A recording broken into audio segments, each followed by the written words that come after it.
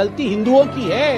ये हिंदू इकट्ठे नहीं होते हैं। हिंदू बन जाता है जाट, हिंदू बन जाता है गुजर, हिंदू बन जाता है ब्राह्मण, हिंदू बन जाता है ठाकुर, हिंदू बन जाता है दलित।